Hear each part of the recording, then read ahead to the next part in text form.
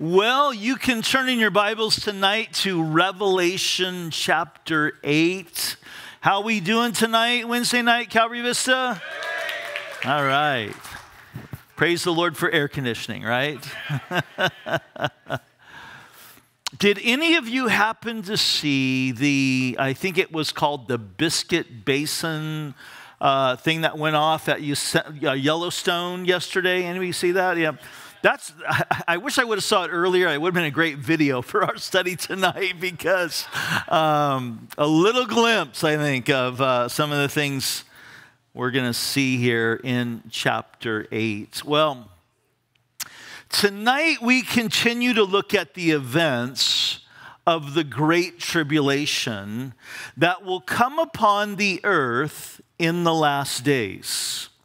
And the Great Tribulation contains 21 major judgments. And we see these in the seven seal judgments in Revelation chapter 6 the seven trumpet judgments in chapters 8 and 9, and then the seven bowl judgments in chapters 15 and 16. And last Wednesday night, my friend Pastor Barry Stagner um, took you through six of the seal judgments.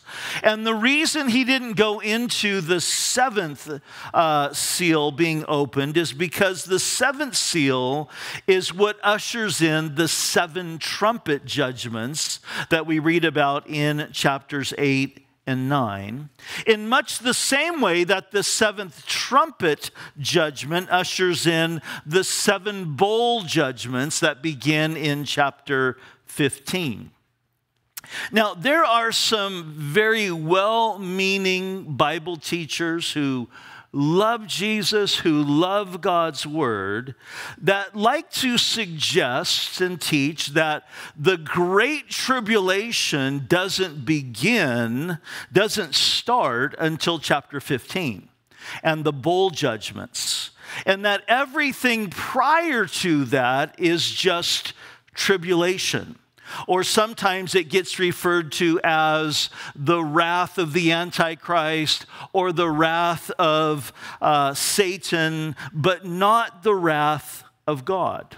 Because that happens, they teach, later in chapter 15, which means the rapture doesn't happen until Revelation chapter 14.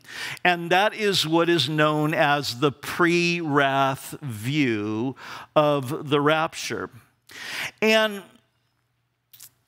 part of the reason why the pre wrath view states that the Great Tribulation doesn't start until the bowl judgments begin in chapter 15 is because we're told this in Revelation chapter 15, verse 1. It says this And then I saw another sign in heaven. Great and marvelous, seven angels having the seven last plagues, for in them the wrath of God is complete. And so those who hold the pre wrath view believe that the rapture happens when before these bowl judgments begin and that the bowl judgments really usher in the wrath of God. But everything prior to this, the seal judgments, the first of the six trumpet judgments, um, we, the church, actually experience that that we're here on planet Earth during those times because there in chapter 15, verse 1, it, it says it's there that the wrath of God is mentioned. But I want you to notice closely, uh, that verse should still be on the screen, that John, what he says here, he doesn't say the wrath of God has started. He says that it is complete meaning that this is the end of it, the completion of it, Meaning that what has occurred prior to this, the way I would interpret this, is was also the wrath of God. This is just the completion of it. This is just the end of it. And that has really been my argument all the way along as we've been studying the book of Revelation is that the tribulation starts in chapter 6 when Jesus opens the scroll and he looses that first seal. And what I keep advocating, and we're going to see this again tonight, is that everything that we are reading about in this tribulation period is originating from heaven. It's originating from the hand of Jesus as he opens the seal. And this to me is an example of what I mentioned on Sunday that Paul said in Romans chapter 1 verse 18 when he said and the wrath of God is revealed against all unrighteousness and ungodliness of men. And he begins to describe how the wrath of God there in Romans chapter 1 is being revealed. And he mentions three different times that this is what the wrath of God looks like is it's God giving men over to themselves giving them over to follow their own lusts. And we've noted that when the first seal is opened there in chapter 6, it ushers in the coming of the Antichrist. And the, anti- the Antichrist is really the epitome of man living apart from God. It's the epitome of being anti God and against God. It's, it's a man who is seeking to pursue his own kingdom and establish his own kingdom. And during the first four seals, as they're being opened, that, that you looked at last week, that we noted on Sunday morning, is that these first four seals, after the first four seals of judgment are opened, one quarter of the planet Earth is killed. That's about 2 billion people. And then we see the sixth seal opened, and these cataclysmic things are happening on planet Earth. And my point has been again that everything that we have seen thus far in the book of Revelation, eh, in the reading of the seal judgments, has been originating from the throne of God and from the hand of Jesus. That it's his wrath that is being poured out. Now, when it comes to the rapture of the church, there's basically three, well, four, four views, but, but th- the three that I, I really think have any kind of merit whatsoever is the pre trib view, which is the one that we hold here and that I hold. There's the mid trib view. We'll talk about that a little bit when we get to chapter 11. And then there is the pre wrath view that um, we see, we'll see when we get to chapter 14. All of these views agree in this that Paul said in 1 Thessalonians chapter 5 verse 9 that the church is not appointed under wrath. They all agree with that. We're not appointed under wrath. where they divide though is where the wrath begins. And the, the point that I have been making, and I will die on this hill, I think, until um, the Lord comes back or proves me wrong, is that the, the, the tribulation starts there in chapter 6, where everything we see is originating from heaven. Now, another thing that I'll mention is that there's also a teaching that says that the seal judgments, the trumpet judgments, and the bowl judgments are actually three different sets of, or are not three different sets of judgments. Again, let me say again, not three separate sets of judgments, but three different angles describing the same thing. Kind of like watching three different camera angles on an instant replay in a football game. And so it's like each one is giving a little bit more detail of the same thing. But I think Revelation 15, verse 1, also refutes that idea because notice again, it says, And then I saw another sign in heaven, great and marvelous, seven angels having the seven, what does it say? Last plagues. And that means the seven last plagues would indicate that there have been previous plagues and judgments. That these are just the last seven of them, which I think dispels that idea as well. That these judgments are different angles describing the same thing.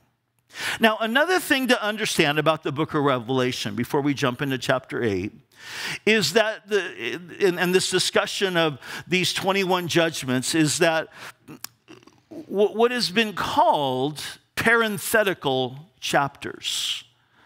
Parenthetical comes from the word parentheses, from, which means something that is inserted as an explanation. It could also signal an interval or an interlude in the narrative.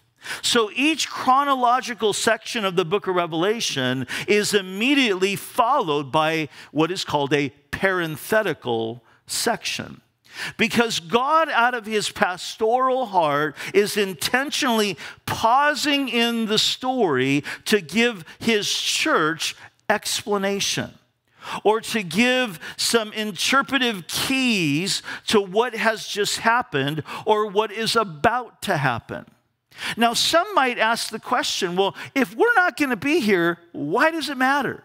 Why does it matter for us? Why, why, should we even care about any of these things? And I would say this the Bible says that God does not want us to be ignorant of spiritual gifts. He doesn't want us to be ignorant of spiritual warfare. He doesn't want us to be ignorant concerning the nation of Israel. And He doesn't want us to be ignorant about Bible prophecy. He wants us to understand these things so that we can teach these things accurately. But I also think this. I think the reason why it's important that we look at the events of the tribulation, even though I believe with all my heart we are not going to be here, is because these things that we're looking at should motivate us more than ever to share our faith. And I've said this all the time. If you ever went to one of our prophecy updates, as I said, hey, the point of this prophecy update, and I would say this about the book of Revelation, the point of the book of Revelation is not to create within born again believers and followers of Jesus Christ a mentality of escapism. If your mentality in reading this is one of like, you know, I mean, I'm so glad I'm going to miss it, that, and too bad, so sad for all the people in the world that are going to deserve this, that is not God's heart. That is not God's heart at all. No, this should create within us and, and, and, and really well up within us a heart toward activism towards sharing our faith. It should be giving us a burden like we've never had before that people we work with and, and live by and love are going to go through these things. And it should just create within us this sense of, I don't want them to go through these things. In fact, I would even argue this that if we were to go through some part of the tribulation, be it you know rapture happens mid-trib or or pre-wrath i would almost say that it would be almost less of a motivation to share our faith now. Because what's the hope What's the comfort? What's the, you know, I, I, think it would almost be a sense of like, you know, I'll just wait until all that stuff starts because I'll have much more of a active audience and attentive audience because things are going to be going so crazy. But my message is going to be, hey, give your life to Jesus so you don't go to hell, but you're probably going to die. Because that's really the message of those who are thinking we're going to go through really any part of the tribulation. We're going to die. But that's okay. Because from day one in my relationship with Jesus, I've been ready to die, to die for my faith. I'm ready to die now. And I think you can't really live for Jesus unless you're really you're ready and, and willing to die for Jesus. But I think when Paul says in 1 Thessalonians 5, when he's talking about the rapture, he's talking about the Lord coming, and he twice says in chapters 4 and 5, comfort one another's with these words. I think the comfort is we get to miss this. So, we have seen the, one of these parenthetical chapters already in chapter 7 last week when we saw the introduction of the 144,000, which are Jewish people from the 12 tribes of Israel, as well as the first group of martyred believers, those who come to Jesus after the rapture and during the tribulation, there in heaven. And we'll see the other parenthetical sections are in Revelations 10 um, verse 1 through 11, 14. Revelation 12 uh, and through 14, those chapters. Revelation 17, 1 through 19, 10. And Revelation 21, 9 through 22, 5. These are kind of breaks in the narrative where the Lord is going to stop, pause, and give us some detail about what's happening. So we come to chapter 8 tonight. And chapter 8 begins with the opening of the final seal judgment. And our outline for the study today is this we're going to look at the silence, the supplications, and the soundings. So we start with the silence, verse 1. When he opened the seventh seal, there was silence in heaven for about a half an hour. Pause right there and give me your attention. Now, there's been a lot of speculation concerning why there was silence in heaven um, at this moment for 30 minutes. Some commentators believe that it's because the seventh seal, the title deed to the earth, is flipped over, revealing the whole plan of God and the rest of the judgments that are going to be laid out and recognized. And, and the reality of this and the enormity of this, you know, judgment just causes, causes there to be a holy moment in heaven sort of a, a, an awe and, and a soberness at what they are looking at and what is about to happen. Others think that this is hard evidence that women arrive in heaven at least 30 minutes after the men. And the reason for that is they said if there were any women in heaven already, there's no way that there would be silence now, I don't believe that that's what this means, but that's what Pastor Steve believes, and he, he asked me to say this, so. no, I think the truth is the truth is that the seventh seal contains so much devastation. It's so ominous what we're going to look at tonight that it leaves heaven speechless that they're just speechless. And the silence just adds to the intensity of what's about to happen. Think of it this way. You've probably all experienced this. You're, you're watching a football game, and, and it's the fourth quarter, and there's seconds left in the game, and your team is on the goal line. It's like first and goal. There's two seconds left. There's time for one more play. If they score a touchdown, they win. If they get stopped, they lose. And as the ball is being high, everybody in the room is just silence, waiting to see what's going to happen. That's sort of like, I think, what's happening here in this moment in heaven. The silence is similar in that they're anticipating what is about to happen. Zephaniah, the prophet, actually spoke of this. He said in Zephaniah chapter 1, verse 7 Be silent in the presence of the Lord, for the day of the Lord is at hand. And anytime you see that phrase, the day of the Lord, understand it is not describing a single day, but the day of the Lord speaks of a time period that begins with the, the tribulation starting and goes all the way through the second coming and the millennial reign of Christ. That that whole time period is known as the day of the Lord. And Zephaniah says, Be silent because the day of the Lord is at hand. And then he begins to describe the tribulation part of the day of the Lord when he says, The great day of the Lord, in verse 14, it should be on the screen, is near. It is near and hastens quickly. And the noise of the day of the Lord is bitter. There the mighty men shall cry out. The day is a day of wrath a day of trouble and distress, a day of devastation and desolation, a day of darkness and gloominess, a day of clouds and thick darkness, a day of trumpet and alarm against the fortified cities and against the high towers. I will bring distress upon men, and they shall walk like blind men, because they have sinned against the Lord. Their blood shall be poured out like dust. Think about that. And their flesh like refuse. Neither their silver nor their gold shall be able to deliver them. Money will mean nothing. In that day of the Lord's wrath, but the whole land shall be devoured by the fire of his jealousy.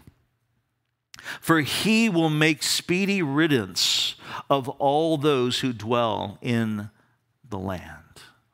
It's heavy. So the silence is in anticipation of what is about to happen next as the wrath of God continues to be poured out. And that brings us to the supplications we see in verses 2 through 5. He says, And I saw the seven angels who stand before God, and to them were given seven trumpets. And then another angel, having a, a golden censer, came and stood at the altar. And he was given much incense that he should offer it with the prayers of the saints upon the golden altar which was before the throne. And the smoke of the incense with the prayers of the saints ascended before God from the angel's hand. And then the angel took the censer and filled it with fire from the altar and threw it to the earth. And there were noises and thunderings and lightnings and an earthquake. Pause there and give me your attention.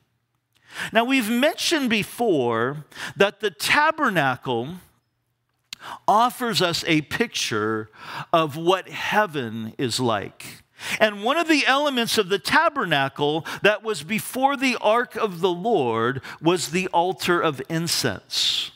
And it was there that a sweet incense created specifically for this type of offering that was to be used um, for, for nothing else, this offering to the Lord. In fact, Aaron the high priest would mix the incense with coals from the altar and take it with him into the Holy of Holies. And in the book of Leviticus, it tells us that it served as a protection for him in the presence of God's holiness.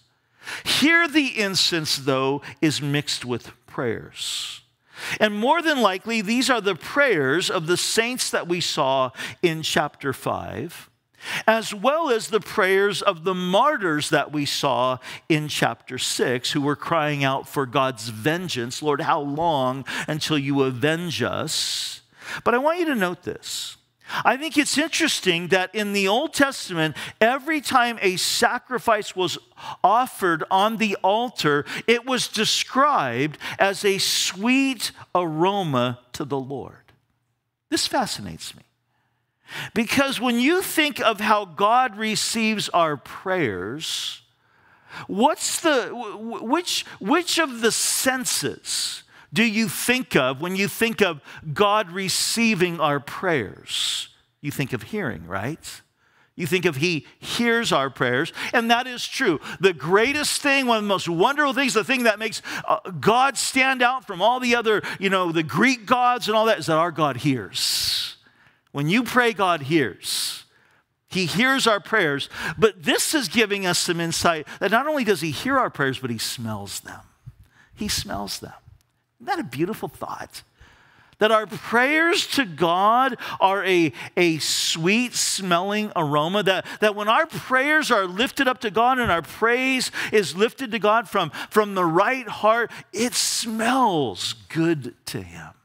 It's a beautiful fragrance to him. The psalmist wrote this in Psalm 141, verse 2 May my prayer be set before you like incense, my lifting up of the hands be like the evening sacrifice.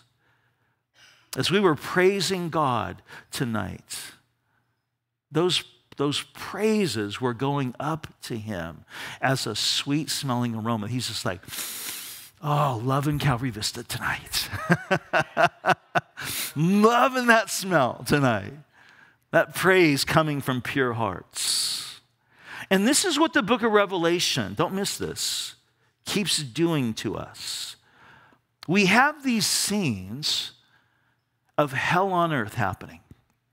And we're going to keep seeing this.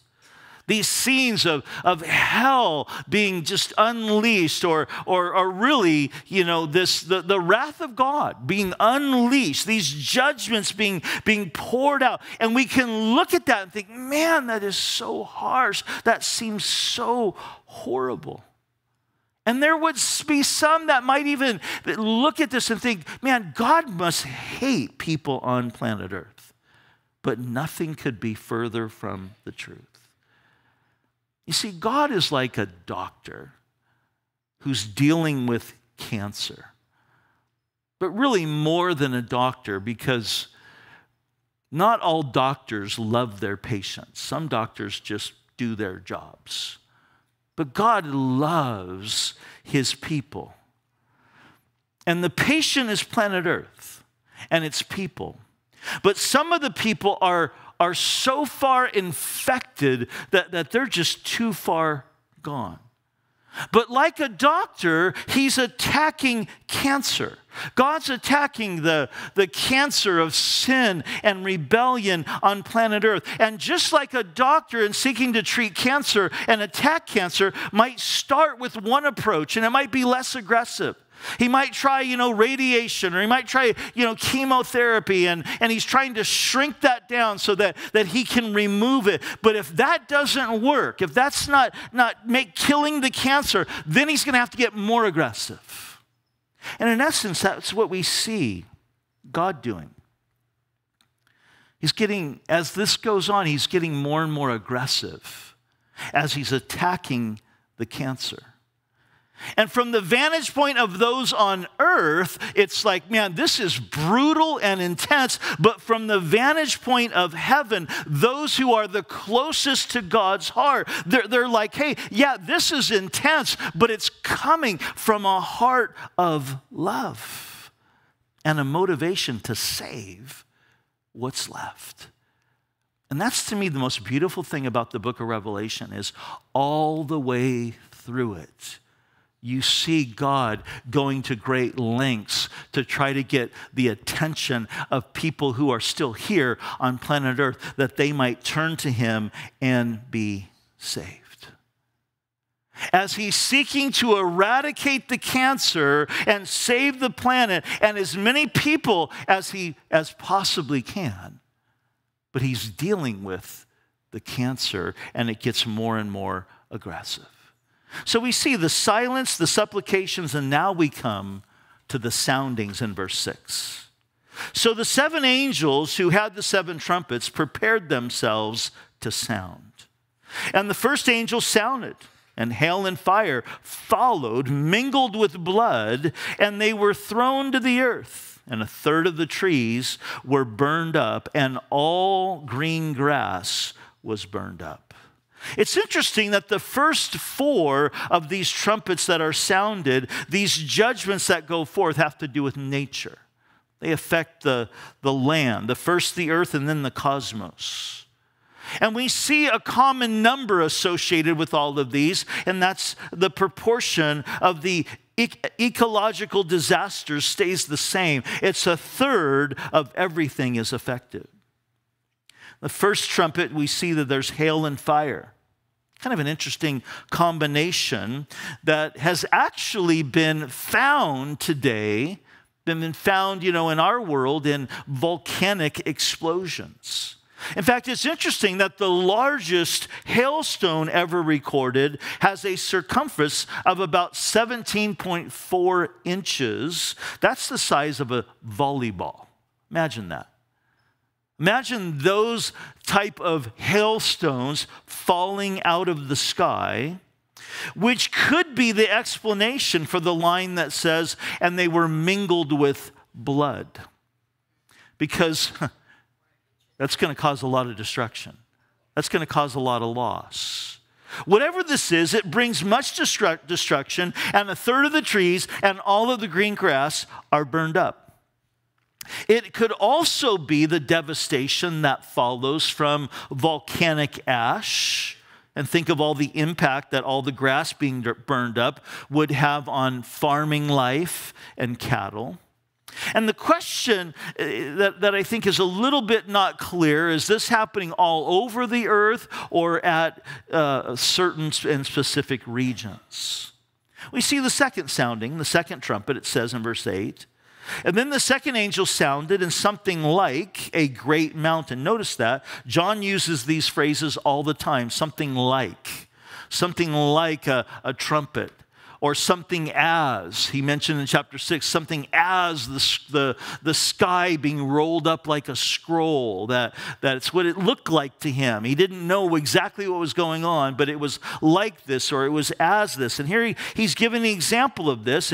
It looked like a great mountain burning with fire was thrown into the sea and a third of the sea became blood, and a third of the living creatures in the sea died, and a third of the ships were destroyed. So John sees something like a great mountain on fire crashing into the sea.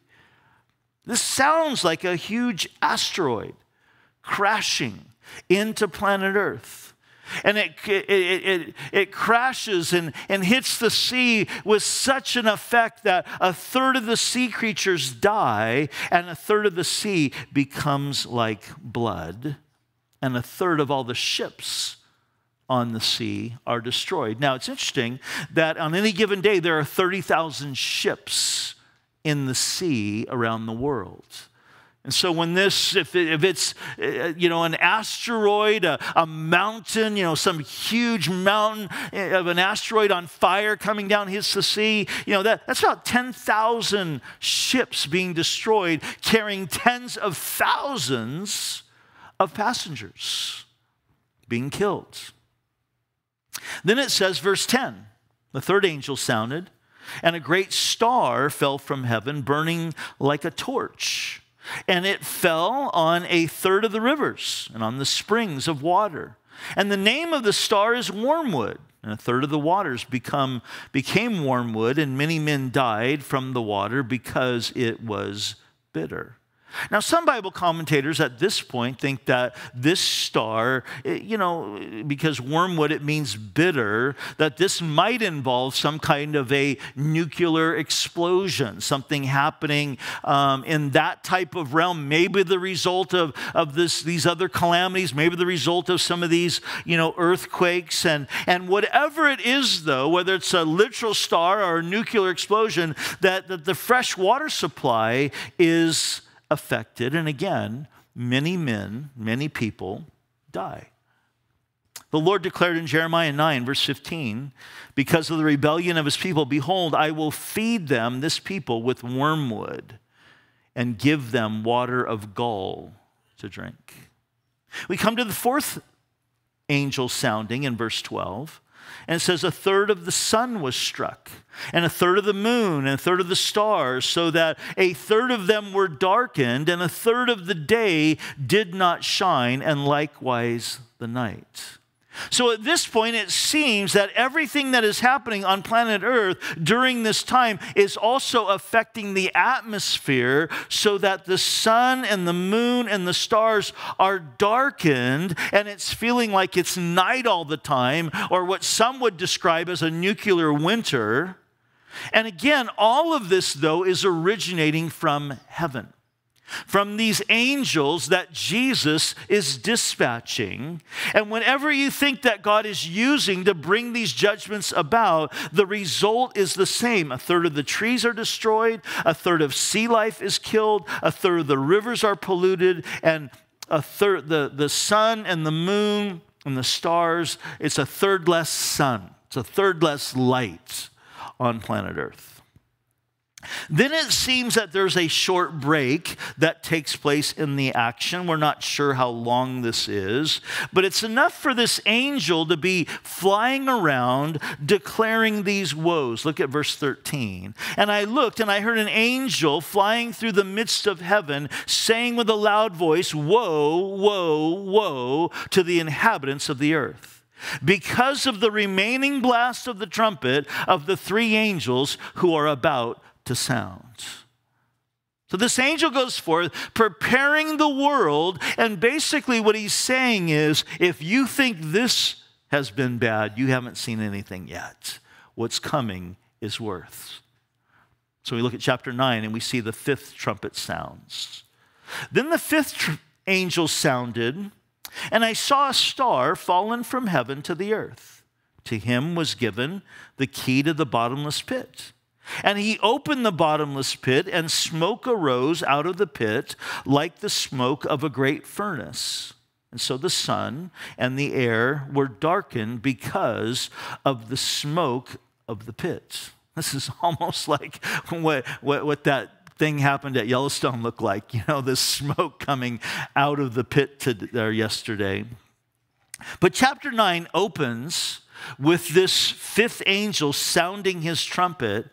And John says that he sees a, star, another star, falling from heaven to the earth. But this is no ordinary star. This isn't like the star that we just saw crashing to the earth in, in the fourth trumpet blast because in verse 1, this star is identified as a he. Notice it says, To him was given the key to the bottomless pit. Now, there's some speculation as to who this star might be. Some think that this is in reference to Satan himself. Others believe that it is a high ranking angel. We're going to talk about this a little bit on Sunday, but did you know Satan doesn't live in hell? In fact, he has access to heaven. We'll, we'll see that. We'll talk about that some in heaven. And so some believe that, that this is Satan, others believe a, a high ranking angel because in chapter 20, we read of an angel who's going to lock Satan up in the bottomless pits. So, this might be the same angel who now is coming and he's unlocking the bottomless pit, which seems to be holding some really, really bad demons. And we learn from the book of Jude, as well as 2 Peter chapter 2, that there have been certain demons in the history of mankind that have been so foul that God has locked them up until this day. In Jude, verse 6, it says, And the angels who did not keep their proper domain, but left their own abode, he reserved in everlasting chains under darkness for judge, the judgment of the great day. That could be these demons. Peter mentioned this in 2 Peter chapter 2 verse 4, for if God did not spare the angels who sinned, but cast them down to hell and delivered them into the chains of darkness to be reserved for judgments. Some believe that this could be these demonic creatures that are being let out at this time. But the fifth trumpet sounds, and, and the bottomless pit is open, and what comes out is so horrible so horrific. I mean, think about this. Imagine all the prisoner, prisons on planet Earth being opened up today and the worst criminals being released. Imagine how, how crazy that would be. This is a lot worse. This is way worse. Notice verse 3. Then out of the smoke, locusts came upon the earth, and to them was given power as the scorpions have power and they were commanded not to harm the grass of the earth. Now, some of you might think, wait, I thought the grass was all burned up. Why would they say, you know, well, it could be that by this time, a lot of it's grown back. That could be the explanation. Could be that when that first trumpet sound, you know, happened, it could be that it wasn't, it was only a part of the earth that was affected. Either way, there's some grass that they're told not to eat. Verse 4 says, They were commanded not to harm the grass of the earth or any green thing or only tree. But get this, but only those men who do not have the seal of God on their foreheads. So out of this smoke comes these locusts, but these aren't normal locusts, my friends. You see, locusts thrive on vegetation, but these locusts are commanded not to touch the vegetation, but instead they're going to attack people. Except for those 144,000 Jews that have the seal of God on their foreheads. But notice verse 5. And they were not given authority to kill them, that means to kill the men, but to torment them for five months. And their torment was like the torment of a scorpion when it strikes a man. I believe that these are demonic beings that are tormenting the people of the world. And I want you to notice how John proceeds to describe them. These aren't normal locusts. Verse 6 In those days, men will seek death and will not find it, and they will desire to die, and death will flee from them. And then notice this the shape of the locust was like horses. Again, like John's saying, I'm trying to describe what this looked like to me, like horses prepared for battle. And on their heads were crowns of something like gold, and their faces were like the faces of men. They had hair like women's hair, so their hair's long, but their teeth were like the teeth of lions. And they had breastplates like breastplates of iron. And the sound of their wings was like the sound of chariots with many horses running into battle. And they had tails like scorpions, and there were stings in their tails, and their power was to hurt men for five months. Now, this is interesting because the actual lifespan of, of a normal locust is five months. And here the Lord is giving these, these creatures, I think they're demonic creatures that look like, you know, that kind of look like locusts. They're coming out of the earth, they're swarming in that way. He gives them five months to inflict mankind. Another thing that is different about these creatures from regular locusts is that they have a leader. Look at verse 11. And they had as, as a king over them the angel of the bottomless pit, whose name in Hebrew is Abaddon, but in the Greek he has the name Apollyon. Now it's interesting that in Proverbs 30, verse 27, it says, The locusts have no king, and yet they all advance in ranks. And this is one of the most amazing things about locusts as part of God's creation, is they fly in formation without any leadership. It's kind of an amazing thing. But these, again, these locusts, they're different. They have a leader. They have a ruler. They have a king, and his name in Hebrew is Abaddon. In the Greek, it's Apollyon. And some believe that this is Satan himself. I, I, personally don't think so because he comes from the bottomless pit, and Satan's not in the bottomless pit yet. He will be one day, but he has, he's not yet. So I don't think this is Satan, but maybe this is some type of high ranking demonic destroyer. And I want you to notice verse 6 again, though. It says, In those days, men will seek death and will not find it, and will desire to die, and death will flee from them. This is what this is telling us. During this time, this is going to be so intense that people are going to be attempting suicide, but they're not going to die. They're going to be doing various things, and you can just use your imagination of what people might be trying to do to kill themselves to escape this, but they're not going to die. Guys, this is horrific. Do you want to be here for this? Do you want anybody that you love or know to be here for this? But it gets worse. Notice verse 12. One woe is past. Behold, still two more woes are coming after these things. Verse 13. Then the sixth angel sounded, and I heard a voice from the four horns of the golden altar which is before God. Now, pause there. The, the horns of the golden altar were where the priests, when they were bringing the sacrifices to lay on the altar, they would tie the limbs of the animal to these four posts, these four horns.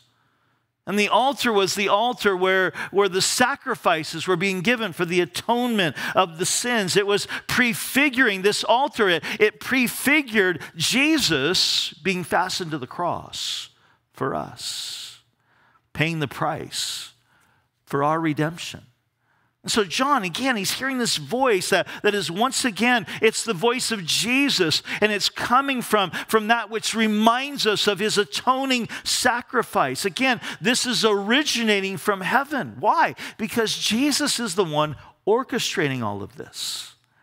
So John hears a voice, verse 14, saying to the sixth angel who had the trumpet, Release the four angels who are bound at the great river Euphrates. And so the four angels who had been prepared for the hour and the day and the month and the year were released to kill a third of mankind. Now, the number of the army of the horsemen was 200 million, and I heard the number of them. So here we see some more fallen angels who were bound for some reason. We, we can't be sure this time, somewhere under the great river Euphrates. But now they're released to destroy man. And these judgments pour out as God releases the, the evil that is currently being held back. There's a certain evil, think about this. There's a certain evil right now in the bottomless pit and, and, and this some type of prison, you know, under the great river Euphrates that is being held back right now held back because of, of God's, the presence, I think, of God's Spirit on the earth and, and the presence of His church on the earth. And I'm thankful for that. Thankful that God is holding back. That we are living in a day and age where, where He's not pouring this, this out on us. And all the, the, the stuff that we see going on in our world today, all of the, the, the wickedness, all of the persecution happening in the world today, it's not the wrath of God, it's the hand of man against the people of God. But there's going to come a day when God pulls back the restraints. And He's going to allow these beings, these demonic beings, to come on planet Earth. These four demons lead an army, notice, of 200 million. Now, I want you to think about that. There was a million soldiers gathered together for the Gulf War. This is 200 times that. There were 50 million soldiers fighting in World War II. This is four times that. Four times that. And even more incredible is the fact that when John writes this, there weren't even 200 million people on planet Earth at that time. So John is seeing something here. It's future. Now, some have tried to say that maybe this is China because, you know, a couple years ago they announced that they were able to, you know, bring an army now of, of 200 million soldiers. I don't think this is China. I think this is a demonic army, an army of demons coming on planet Earth. I do think, though, that there will be, we'll, we'll read about this in chapter 16, an army coming from the east that joins with the Antichrist. That could be China. But a lot of people think that, that this couldn't be China because some don't think that, there's, that it would even be possible by this time to even have an army of 200 million people with all the devastation that's taken place. Second question people have is well, why would this army if it was an army of men, be fighting against the whole world. But the language here doesn't seem to fit modern warfare. This is something else. Look at verse 17.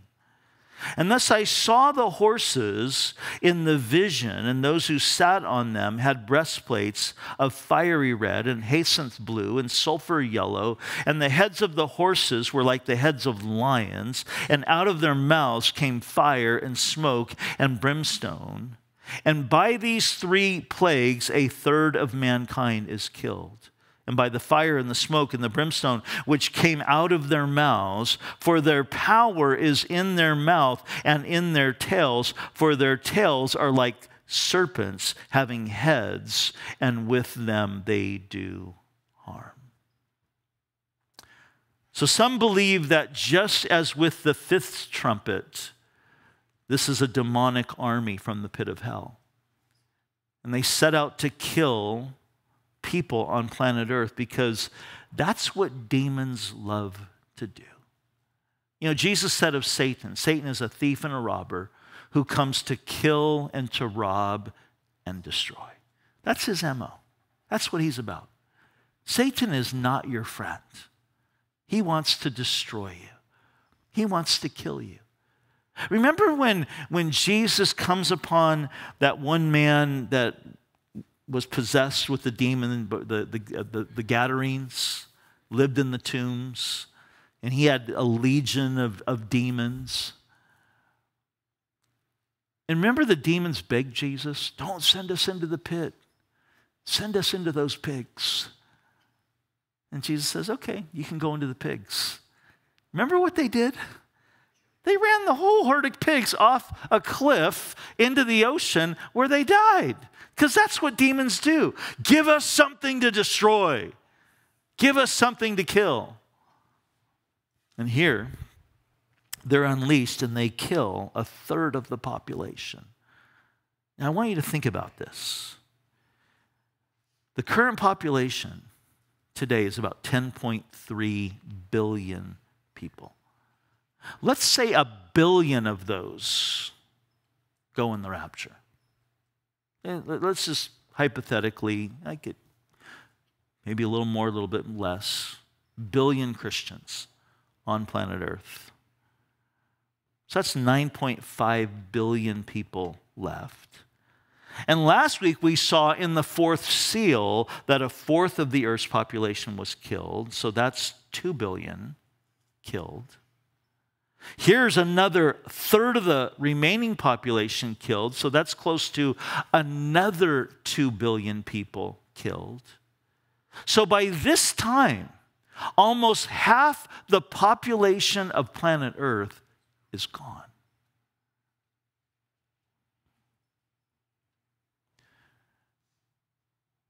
Just let that sink in for a minute. This is heavy. It's heavy. And we haven't even gotten to the bowl judgments yet. Let that sink in. You see, this is gut wrenching. This is really an impossible to imagine. It's hard, isn't it? It's like hard to fathom. It's hard to, to wrap our minds about around it. But here's what's really said. Look at verse 20. But the rest of mankind who were not killed by these plagues did not repent of the works of their hands. That they should not worship demons and idols of gold and silver and brass and stone and wood, which can neither see nor hear nor walk. And they did not repent of their murders, of their sorceries, or of their sexual immorality, or of their thefts. Even after all of this, a lot of the people on planet Earth are not going to repent and come to the Lord. They're still holding on to their sin. They're still wrapped up in demon worship. They're still given over to idolatry. Idolatry is when we put anything in our lives above God. And we might not bow down and worship it and light incense to it, but, but we worship it because it's the most important thing in our lives. And there's a lot of people today in planet Earth who are, are, who are, are idolaters even though they don't even know it. There's a lot of people today that are worshiping Satan and, and, and, and demons, even though they might, they're not like Satan worshipers. They don't have pentagrams, you know, around their necks, but, but they're indirectly, by not directly, following Jesus. Jesus said, You're either for me or against me. There's no neutral ground. And these people, they're, they're just continuing on. They're murdering, they're killing, they're, they're into drugs. That's what sorcery speaks of. It's the Greek word pharmakia, from which we get our English word pharmacy. And they're being given over to sexual immorality. It's like nothing changes. And this really speaks to the hardness of heart and the propensity towards sin that is so great that it doesn't stop, it grows. And this is just another reminder to us of what Jesus said in John chapter 3 that men hate the light because they love their darkness and because their deeds are evil. Now, we read this and, and wonder, and maybe you wonder, well, why doesn't God just put an end to all of this? Why doesn't He just stop now, like He did at the flood? You know, at the flood, He said, uh, you know, I'm, I'm picking six people, and, and the rest, they don't want to. They don't want to enter the boat. You know, I mean, here's the interesting thing about the flood. It tells us that Noah was a preacher of righteousness. He was preaching. How long did it take Noah to build the ark? How long? 600. No, 120. 120 years. 120 years Noah's out there. Repent.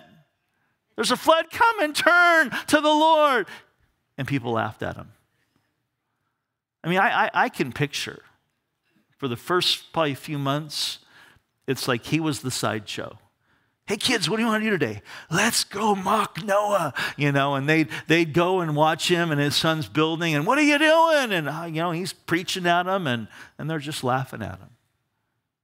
And says they laughed until the door closed and the rain started coming down. And then they knew. Because it had never rained before. Water from the sky, Noah was saying, like, oh, that's ridiculous. Water doesn't come out of the sky. And so people wonder, what, how come, I mean, why doesn't God just do this? Why not just get rid of the rest of, of the population? And here's why that's not God's heart. What is God's heart? I'll close with this. Joel chapter 2, verse 10, and it'll be on the screen, says this For the day of the Lord is great and very terrible. Who can endure it?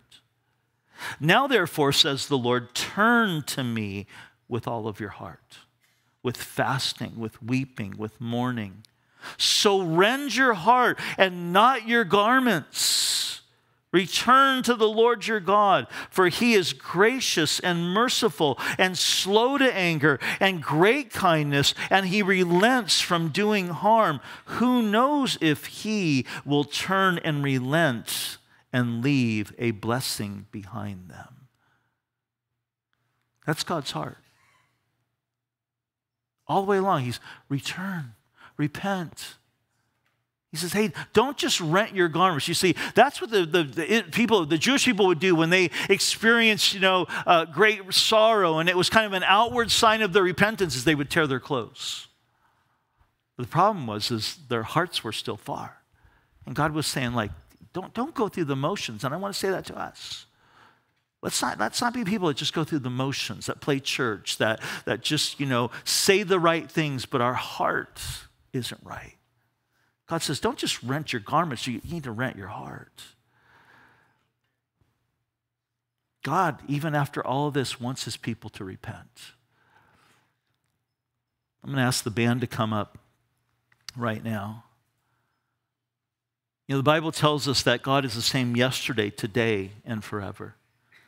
And the same God that just doesn't do away with people, but wants them to repent and turn from their sin and get right with God, He's the God that feels the same way about you and me. He feels that way about us tonight. Because sometimes we can get wrapped up in our own idolatry, can't we? We get our eyes off of God. We get wrapped up in other things. We start putting, maybe it's a person, maybe it's a, spouse, maybe it's, we, we put someone else above God. Maybe you're wrapped up in, you know, people get wrapped up in sorcery. They're, they get involved in drugs, alcohol addiction. Even Christians get wrapped up in immorality, pornography, sexual immorality. And here's the thing that God wants us to understand all of those things that we can get wrapped up in will devastate us. They can destroy us. Sin affects our relationship with God. And God, because He loves you, will not let you live in your rebellion. He'll chasten you, He'll seek to get your attention because His heart is that you would repent, that you would turn from your sin and that you would turn to Him. And this is what He promises is if we turn to Him, He'll restore us. He'll forgive us. He'll bring life to our barrenness. The people in this day, what we're reading about that's going to happen in Revelation chapter 8, they are going to be destroyed. But we still have time. We still have time.